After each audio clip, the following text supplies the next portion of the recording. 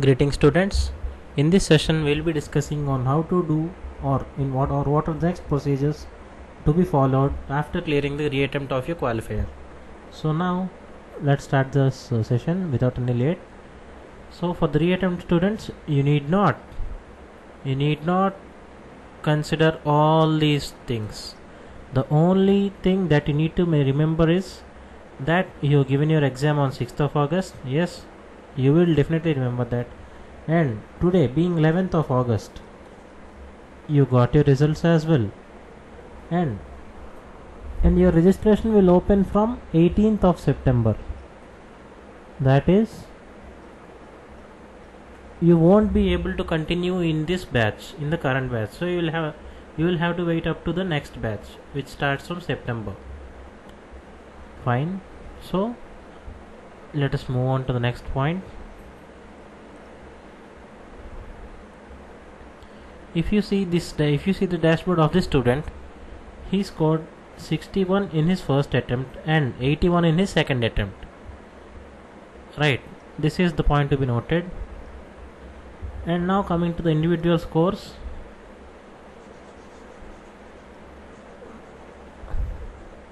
If you see the individual scores here, for in, in statistics his score was 54 in the first attempt english 1 90 in the first attempt mathematics 19 in the first attempt computational thinking 80 in the first attempt. So he has to appear only for mathematics but he must have appeared due to not being satisfied. He might be unsatisfactory. For that reason he must have attempted all the subjects. So in this second qualifier, he he scored 55, due to which his score turned out to be 55. Out of these, out of the two attempts, his better score stood at 90, because he because having scored 86 in the second attempt, the best score is 90, and therefore it remains to be 90. And in computational thinking, he scored 44 in the second attempt, but his final score was kept to be 80. And for mathematics, uh, and for mathematics from 19 he secured a whooping 97% great right. So from this what i can what i insist to tell you is that only the best of scores best of attempts will be taken so the best of two attempts will be taken into consideration for calculating your final score and for the CC, for the credit clearing capability as well. To explain much detail, let us take only CT subject. In the CT subject, this belongs to another student. This is only to tell that the best of the two attempts will be taken. In the in the first attempt, he scored 23%. In the second attempt, he scored 43%. Therefore, his score will stand out to be 43 only because it's the highest.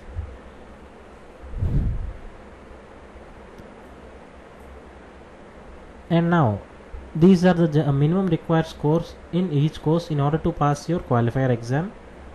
For the ones who, uh, for the ones, this is only for the ones who try to pass this this re-attempt as well. You can attempt once again. That's of no problem. General learner, that is the ones OC we call them to be OC and OBC cre creamy layers. Fine. They must get um, they must have a score of 40 out of 100 as their minimum score.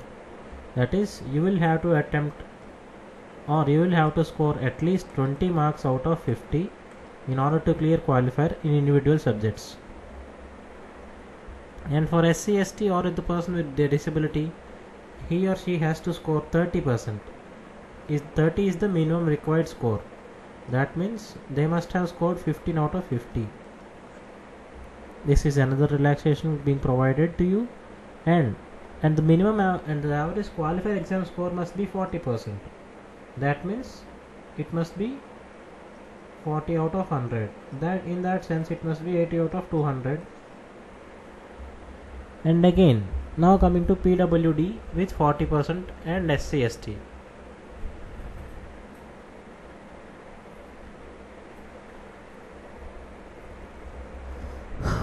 so it is what?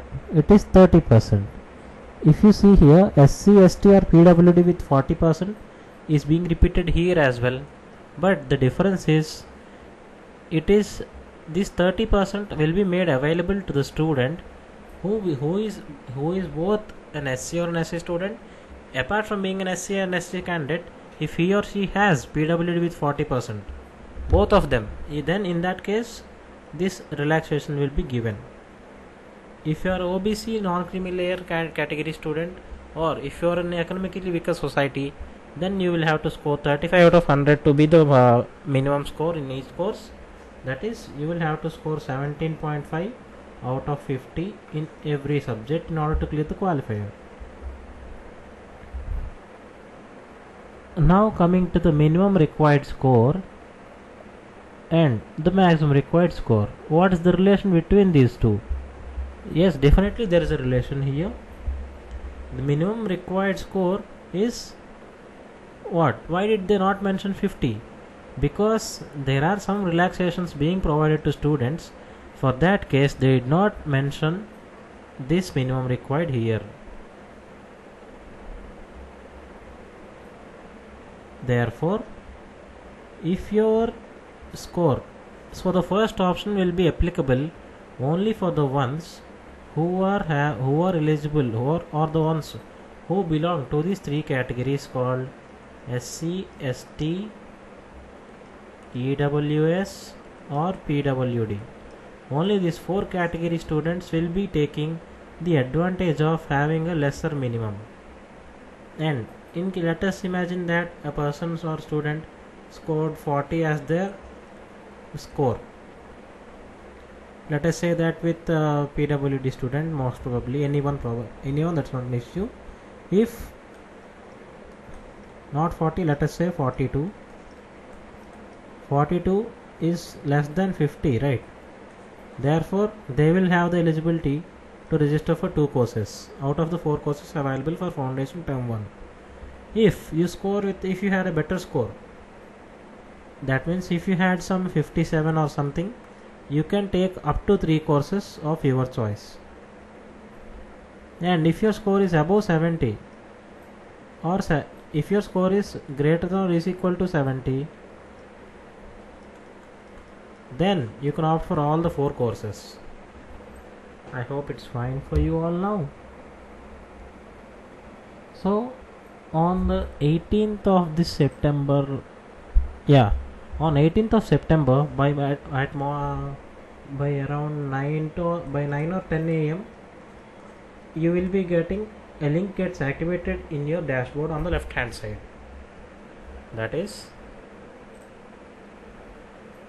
yeah there is no dashboard here. Uh, beside these four subjects there will be some options right? If you remember them it will be my current courses latest updates completed and pending courses pending payments uh, set documents to download everything.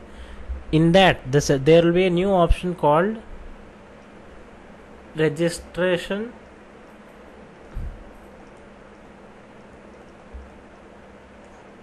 Registration for new courses. You will have to click on that tab which redirects you to the payment and the and to the selection of courses tab as well. So that is what is completely is the next steps are the next steps. So today is 11th of august. You will be this payment link and this registration link will be opened on 18th september at 10 am and please do remember the registration closes after exactly 24 hours.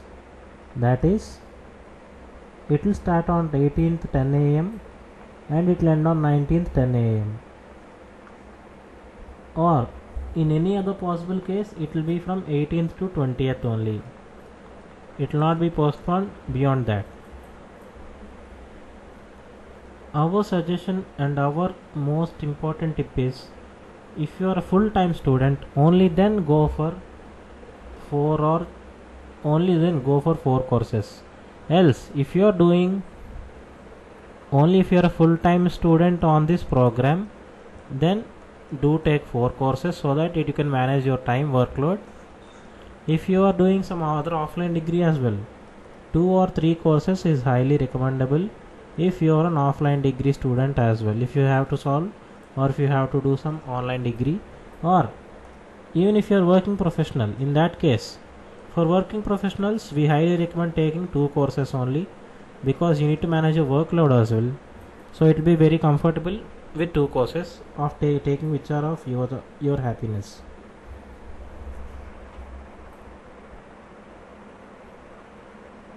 So this is what the next steps are. I hope that all of you must have liked the video. Please do like the video and stay subscribed to the channel. Thank you